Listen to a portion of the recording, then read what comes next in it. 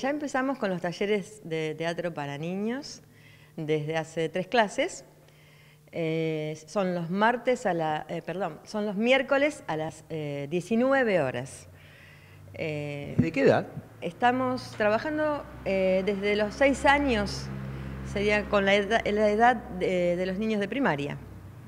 ¿Y cómo viene eso? Porque está bueno ver, a veces hay actividades que tienen una edad determinada, un género determinado donde das más aceptación, más a las chicas que los chicos. En este caso, ¿cómo es?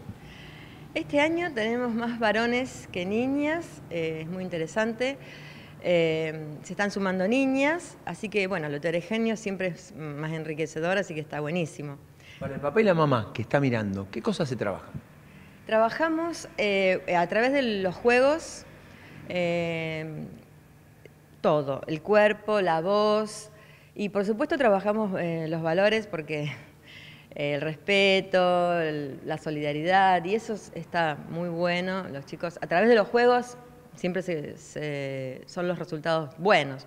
Y en cada clase al final hacemos una improvisación y eso va, eh, después vamos armando una obra y bueno, así se va trabajando. Y lo bueno también es que ya están sobre el escenario. Están sobre el escenario, porque acá en el Cine Teatro Verdi tenemos esa comodidad, que es maravilloso, los chicos les encanta, este, ya están sobre las tablas, así que eh, está muy bueno.